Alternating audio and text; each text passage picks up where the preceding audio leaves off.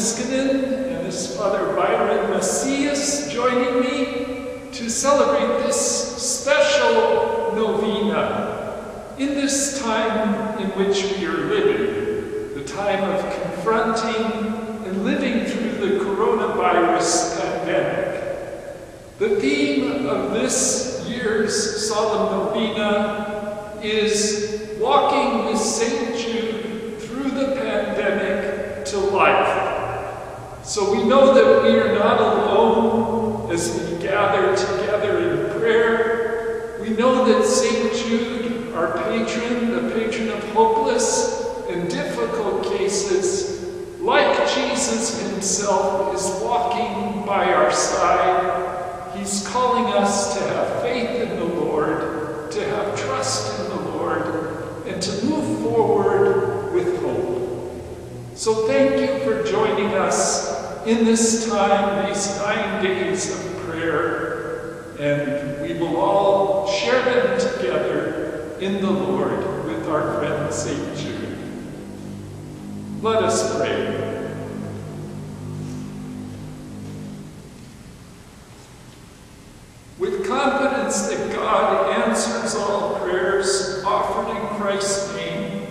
We give our needs and desires over to St. Jude Thaddeus, Apostle and Martyr.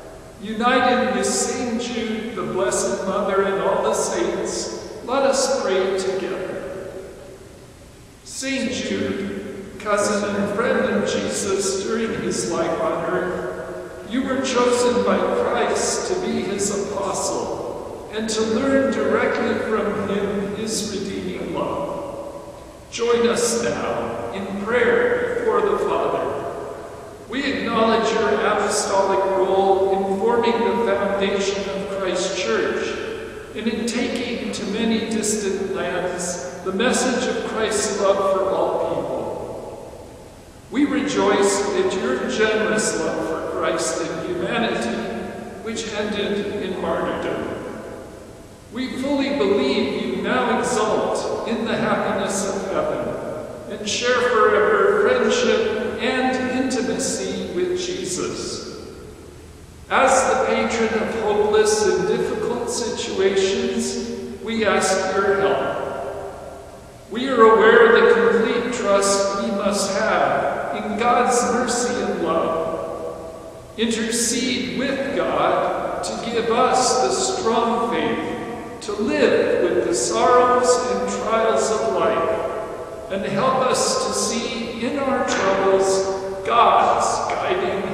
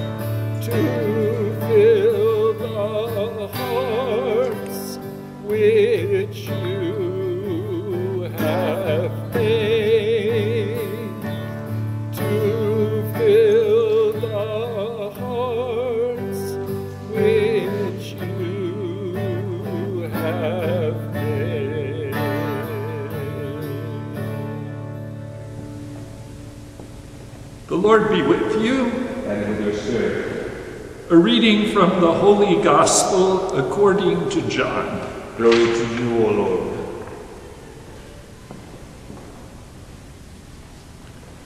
Jesus said, Amen, amen, I say to you. Whoever does not enter a sheepfold through the gate, but climbs over elsewhere, is a thief and a robber. But whoever enters through the gate is the shepherd of the sheep. The gatekeeper opens it for him, and the sheep hear his voice. As the shepherd calls his own sheep by name and leads them out. When he has driven out all his own, he walks ahead of them, and the sheep follow him because they recognize his voice. But they will not follow a stranger.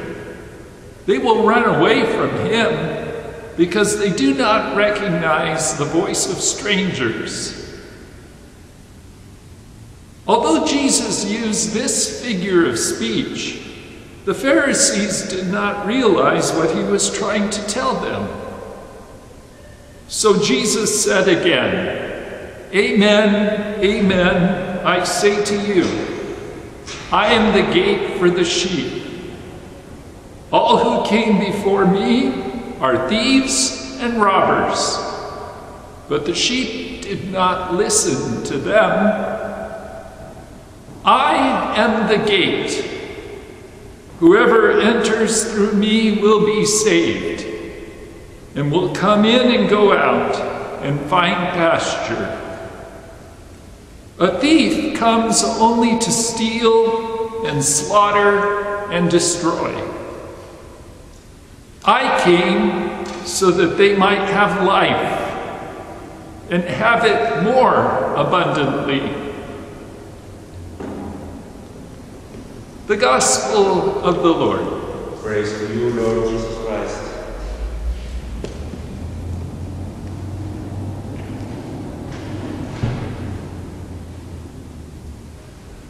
Well, we've come to the end of our solemn novena to St. Jude, and throughout this novena, we have been walking with St. Jude through the pandemic of COVID 19 to life.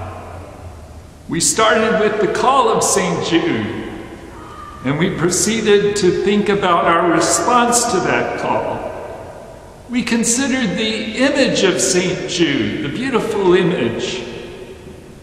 We considered the flame on his head, symbolizing the Holy Spirit, the tunic's colors, symbolizing hope, the Persian, whom St. Jude, according to tradition, brought Jesus' healing to, the martyrdom that Jude gave his life for his Lord and Savior, trust, the attitude that every disciple must develop.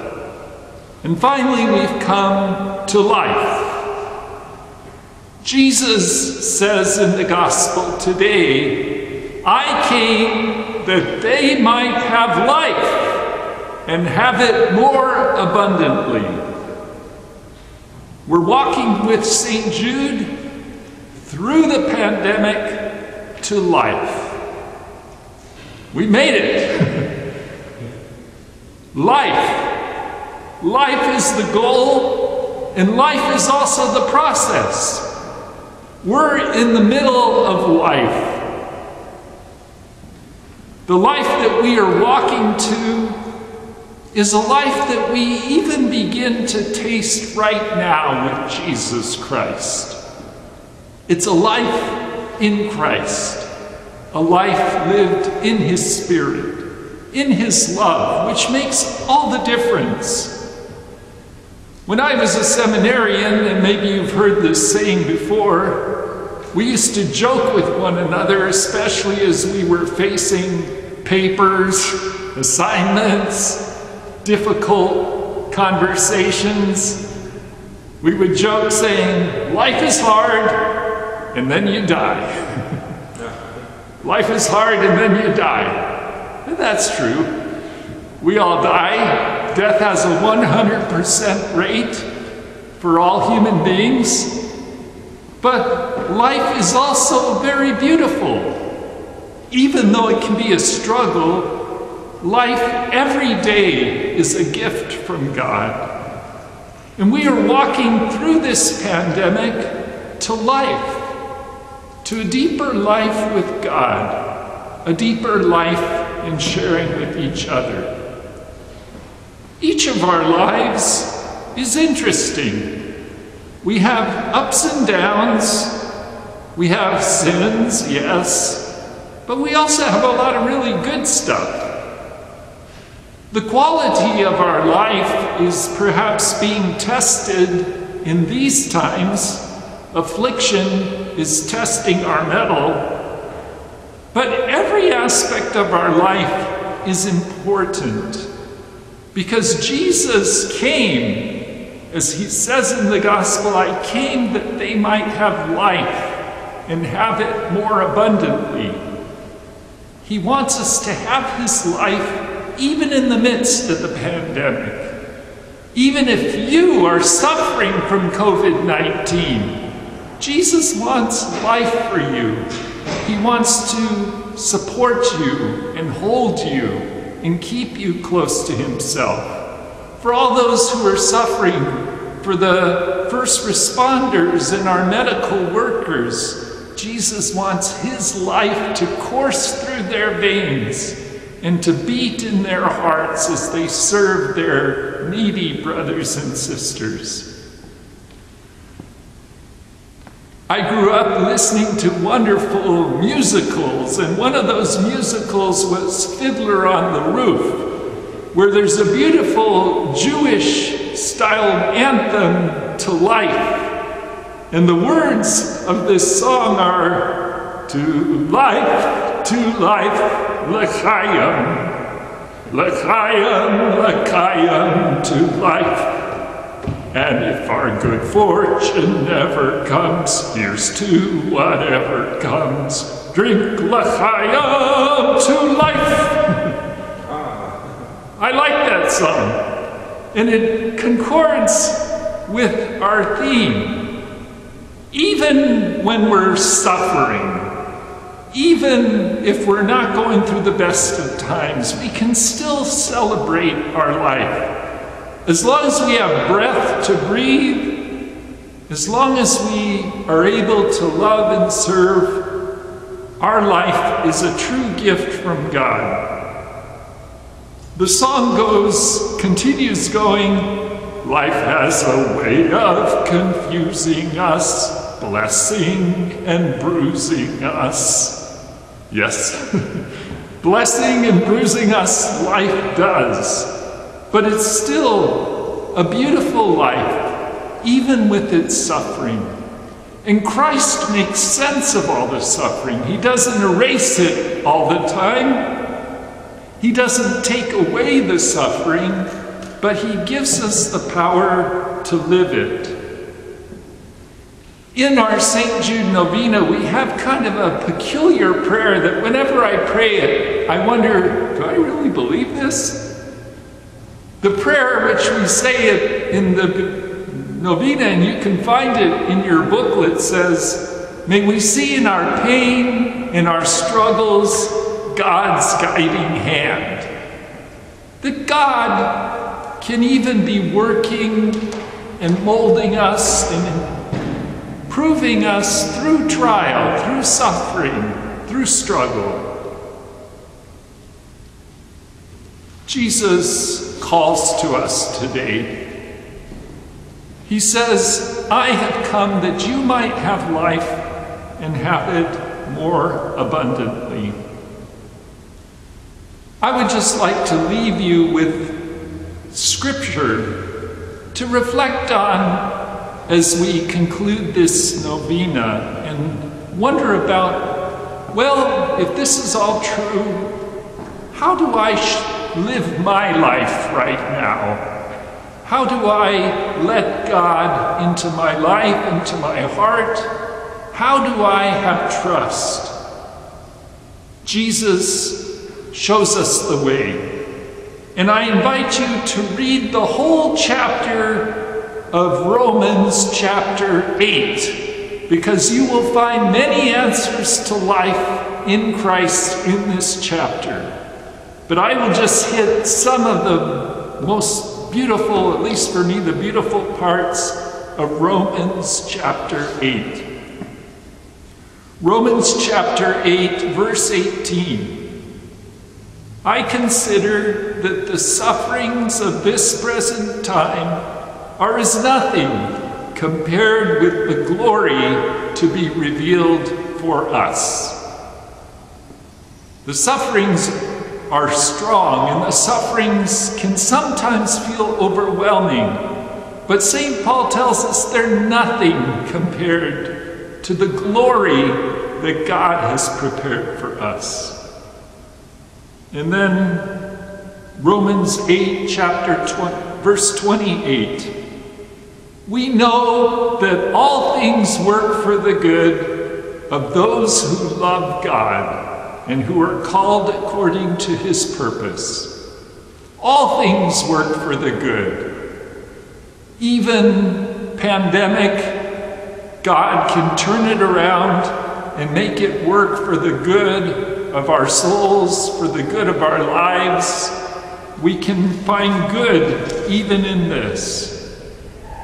Romans 8, chapter verse 31. If God is for us, who can be against us? In other words, my brother or my sister, you cannot fail. If you love God, yeah, you can suffer. Yeah, you can have hard times. Yeah, you can be at your wits' end. Yeah, you can be, you know, blown away and not know what to do.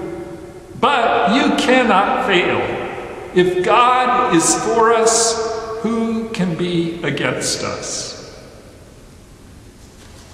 So we conclude our solemn novena to St. Jude today. Normally, we would have the veneration of the relics of St. Jude for our devotees who are present at the Mass.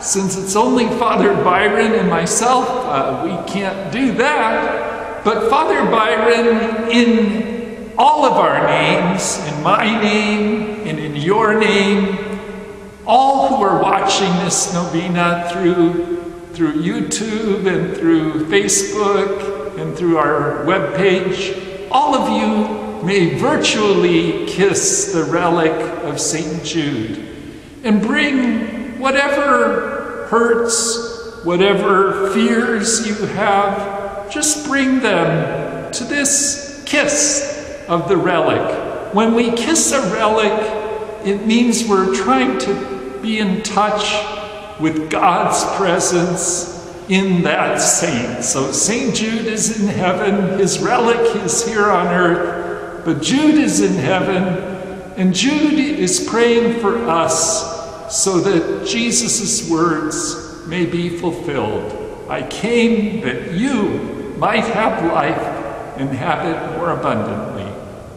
So now we will have this veneration of the relic of St. Jude Thaddeus.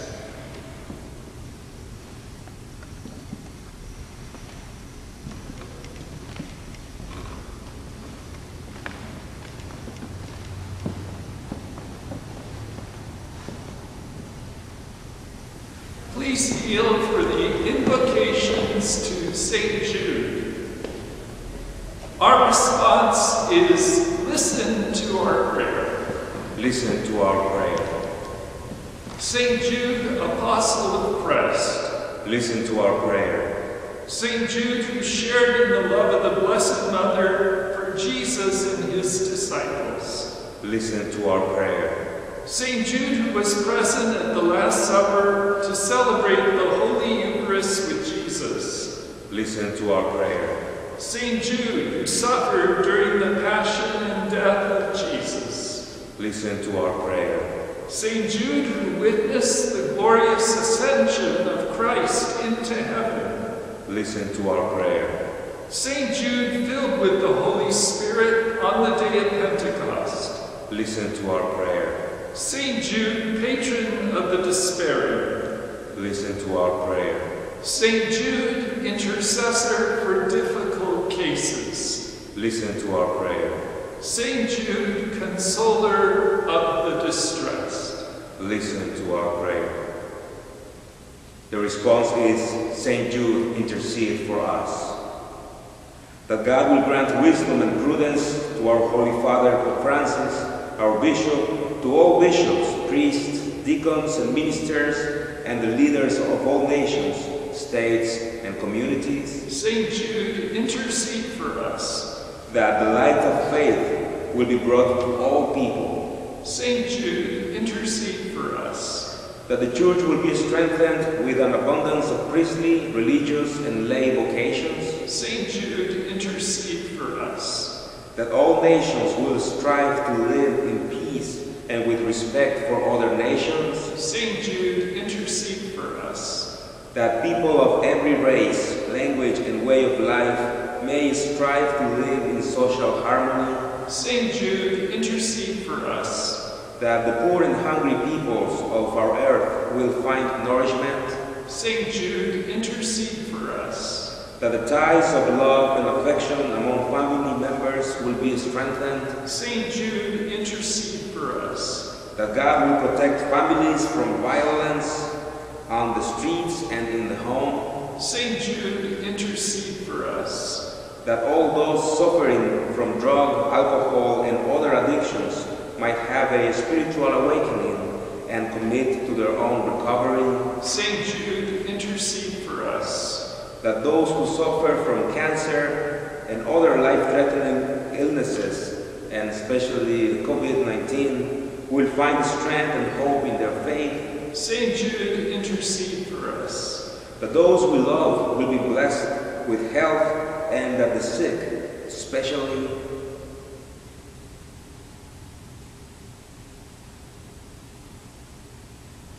will regain their health according to God's holy will, St. Jude, intercede for us. that God will grant us respect for the unborn and the aged, St. Jude, intercede for us. that God will, will grant eternal rest to our departed relatives and friends whom we now recall.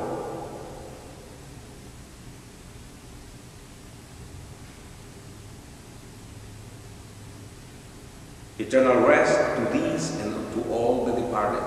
St. Jude, intercede for us. That God will answer all the prayers of the people asking to be remembered in the devotions offered to you at the National Shrine of St. Jude.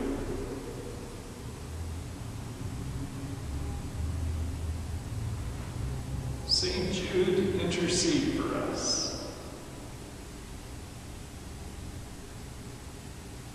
Let us pray. Glorious apostle and martyr, St. Jude Thaddeus, you used your gifts and talents to bring Christ's love to many people. Pray for us today that the love of Christ may increase in our lives. May we safely reach heaven to adore with you the most holy Trinity, the Father, Son, and Holy Spirit, forever and ever. Amen.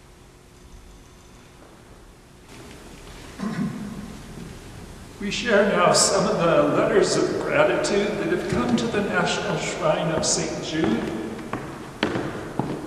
J.D. of Carlisle, Pennsylvania writes, In high school, a friend of mine introduced me to St. Jude.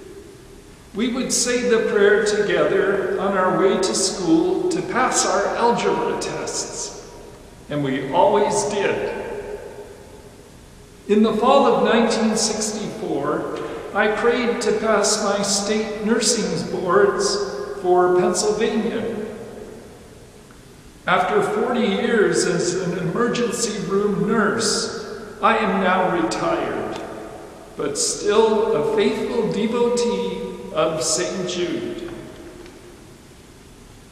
C.A. of El Centro, California writes, in February, my 58 year old father was diagnosed with congestive heart failure. All but one of the major arteries of his heart were completely plugged. He had five bypasses, and when he came home, he couldn't sleep for more than 10 to 15 minutes before waking up frightened. I asked St. Jude to help my father get some sleep, as he had helped to pull him through the operation. Following that prayer, my father began sleeping for longer and longer periods. Now he is back to work and sleeps the whole night. I'm so happy and thankful to St. Jude.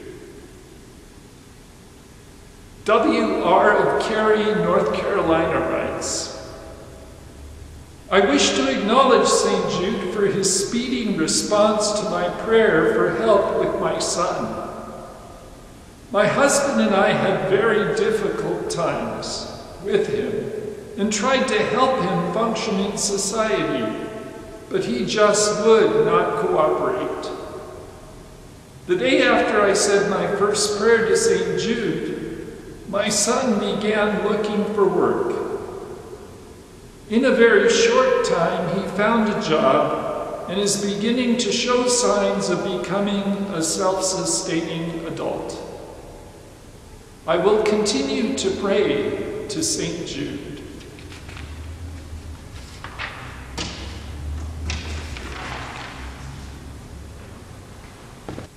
Let us pray together the prayer for particular needs. St. Jude, the Church honors you universally as the patron of hopeless and difficult cases. Pray for us in our needs. Make use, we implore you, of this powerful privilege given to you to bring visible and speedy help where help is needed.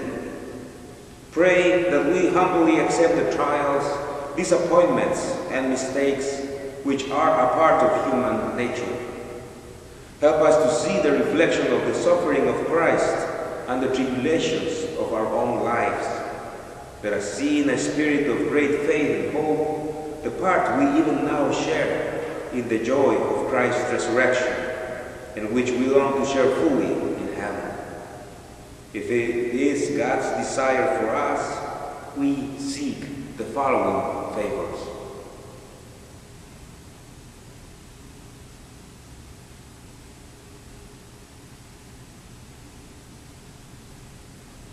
St. Jude, we ask that all be accomplished according to the will of God, and thank you for your intercession in response to our prayers. Amen.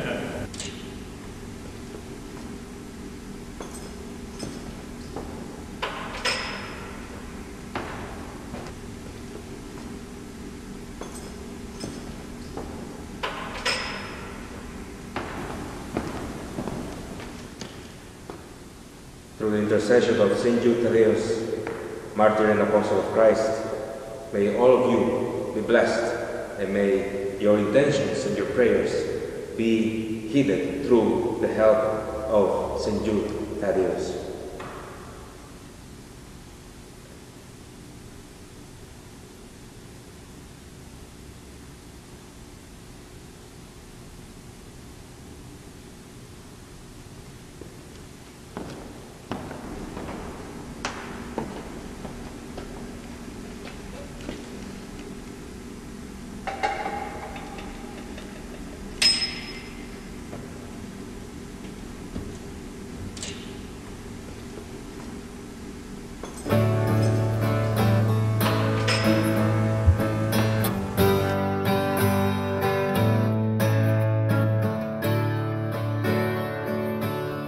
Christ to the apostles'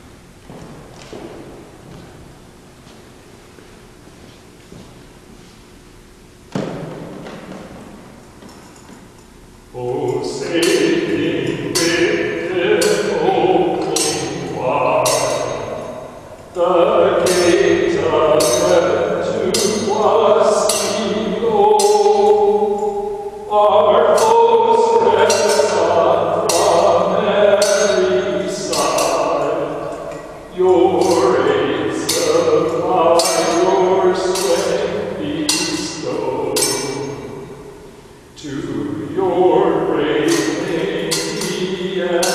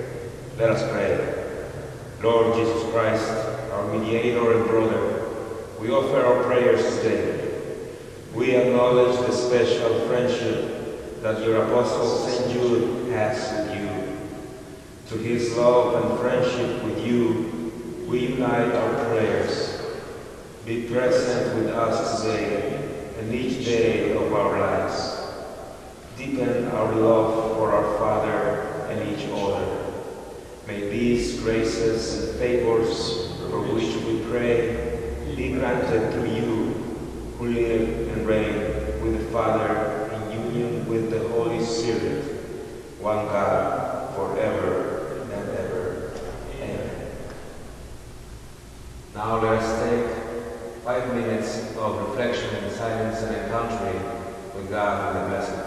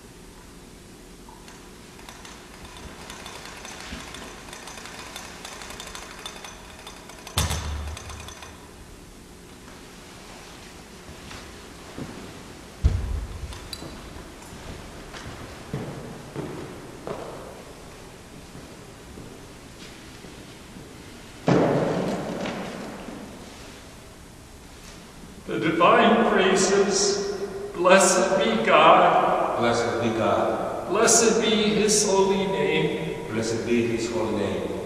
blessed be Jesus Christ, true God and true man. Blessed be Jesus Christ, true God and true man. Blessed be the name of Jesus, Blessed be the name of Jesus. blessed be his most sacred heart, Blessed be his most sacred heart. blessed be his most precious blood, Blessed be his most precious blood. Be Jesus in the most holy sacrament of the altar. Blessed be Jesus in the most holy sacrament of the altar. Blessed be the Holy Spirit, the Paraclete. Blessed be the Holy Spirit, the Paraclete. Blessed be the great Mother of God, Mary Most Holy. Blessed be the great Mother of God, Mary most holy. Blessed be her holy and immaculate conception. Blessed be her holy and immaculate conception. Blessed be her glorious assumption. Blessed be her glorious assumption.